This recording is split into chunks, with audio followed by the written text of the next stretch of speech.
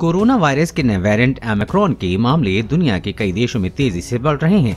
इस बीच भारत में आज यानी कि रविवार को कोरोना वायरस के एमिक्रॉन वेरिएंट के पाँच नए मामले सामने आए हैं। इस आंकड़े के साथ भारत में एमिक्रॉन वेरिएंट के मामले बढ़कर अड़तीस हो गए हैं। आज आंध्र प्रदेश, चंडीगढ़, महाराष्ट्र, कर्नाटक और केरल में एमिक्रॉन वेरिएंट के एक एक मरीजों की पुष्टि हुई है। आंध्र प्रदेश और चंडीगढ़ में इन दोनों जगहों पर वायरस के इस नए स्वरूप का पहला मामला सामने आया है। इसके अलावा महाराष्ट्र के नागपुर से एमिक्रॉन वेरिएंट का एक मामला सामने आया है।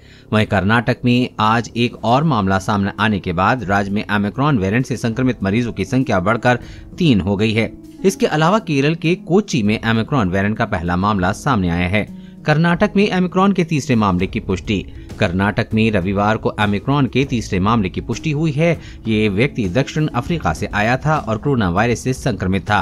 राज्य के स्वास्थ्य मंत्री डॉक्टर के सुधाकर ने ट्वीट किया है। कर्नाटक में एमिक्रॉन स्वरूप से संक्रमण के तीसरे मामले का पता चला है। दक्षिण अफ्रीका से लौटा चौतीस वर्षीय व्यक्ति संक्रमित पाया गया है। उसे पृथक कर सरकारी अस्पताल में इलाज किया जा रहा है। उसके प्राथमिक संपर्क में पाँच लोगों के और द्वितीय संपर्क में पंद्रह लोगों के आने की जानकारी मिली है, जिनके नमूने जाँच के लिए भेजे गए हैं। महाराष्ट्र के नागपुर और केरल के कोची में आया नया मामला।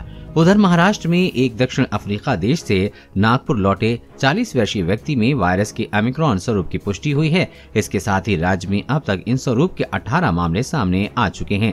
इस बीच केरल के कोची में एमिक्रॉन का पहला मामला सामने आया है। शख्स 6 दिसंबर को ब्रिटेन से कोची लौटा था और 8 दिसंबर को कोरोना पॉजिटिव पाया गया था। इसकी जानकारी केरल की स्वास्थ्य मंत्री वीना जॉर्ज ने दी है। देश और दुनिया की हर अपडेट पाने के लिए चैनल को सब्सक्राइब करें।